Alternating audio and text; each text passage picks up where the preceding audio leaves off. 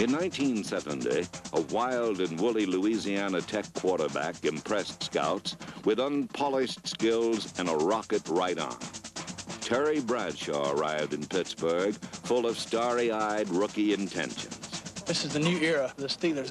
It's not like the old Steelers, believe me. The, the public, uh, the football world might as well wake up and, and just take what I'm saying to, and heed it. Cause, and as the games come along, as the year progresses, I hope to continually get better. And, uh, and in the future, I hope to be the greatest quarterback that's ever stepped foot on this stadium or any other stadium.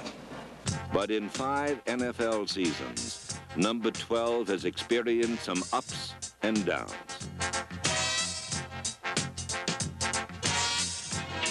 NFL reality taught harsh lessons, and Terry Bradshaw lost some hair, but all that raw talent remained intact, and Chuck Noll has been patient. For number 12 is still capable of unique feats of strength and daring.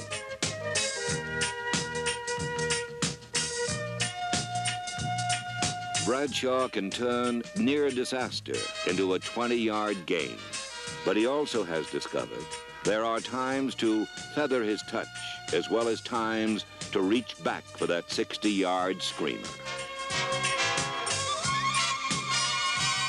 Because of his arm, Bradshaw takes the deepest drop and longest look in football. If he doesn't like what he sees, there's always another option.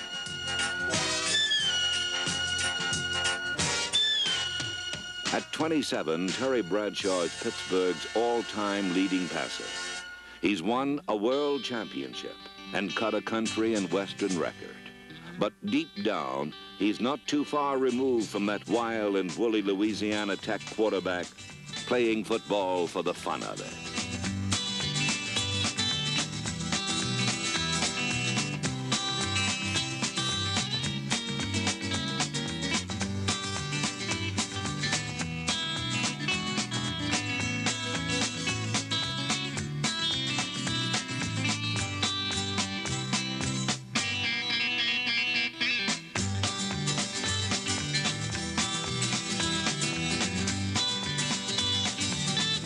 Terry Bradshaw will never be called dull, but 1975 brought more consistency.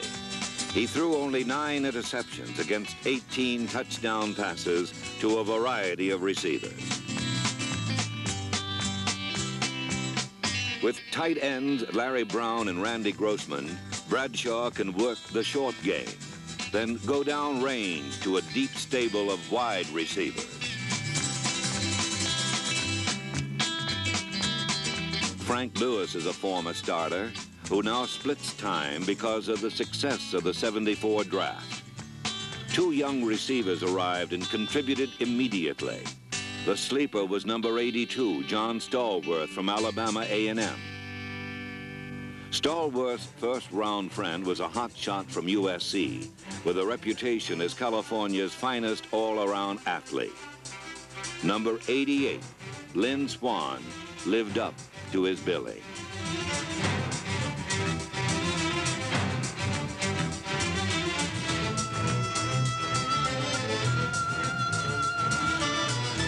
Often, gifted young receivers arrive in the NFL unprepared for the jolt of going over the middle.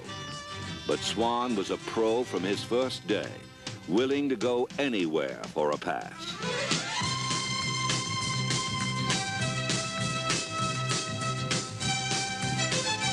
Pittsburgh fans were singing praises of the young man with a stride and style as graceful as his name.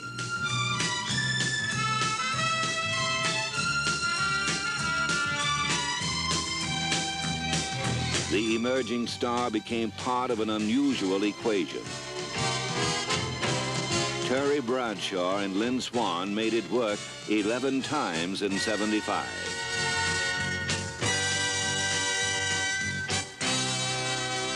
Unstoppable offense matched immovable defense as the 1975 Steelers won more games, scored more points, and gave up fewer than any team in Pittsburgh history. Next, the NFL playoffs.